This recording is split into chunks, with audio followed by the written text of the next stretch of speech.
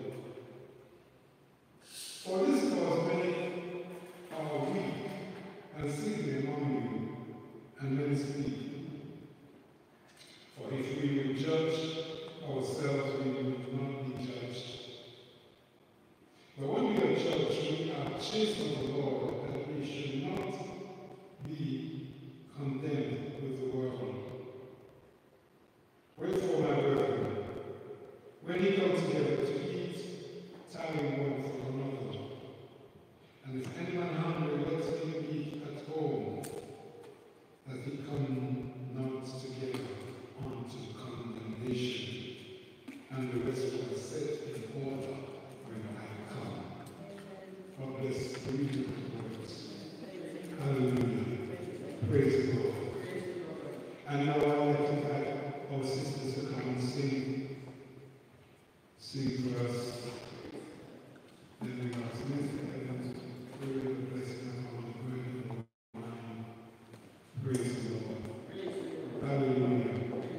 Praise